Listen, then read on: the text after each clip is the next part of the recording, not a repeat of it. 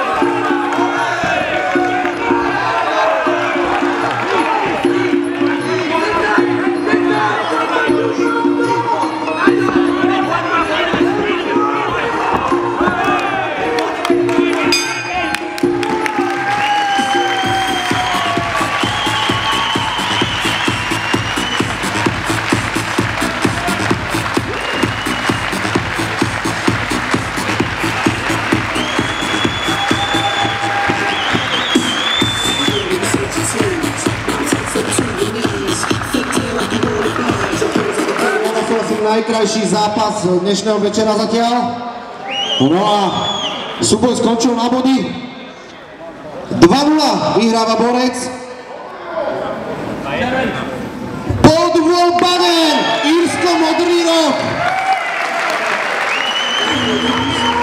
Ale obrovský potlesk určite si zaslúži aj Lukáš Mandinec. Naozaj zápas plný výmien.